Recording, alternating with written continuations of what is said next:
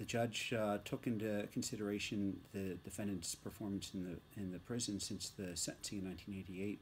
He had three convictions for assault.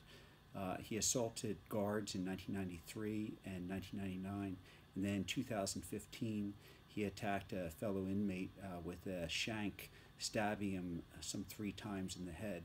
So this was a very, very violent offender, and a life sentence was entirely appropriate.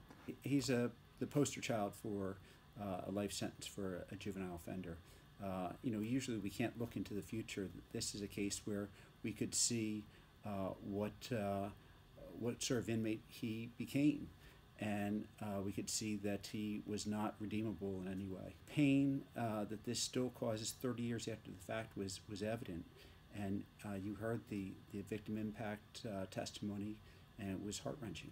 This is an offender who should never ever see the light of day this family would have had to go before the parole board probably every year to oppose uh, his parole because this person is going to be dangerous for the rest of his life.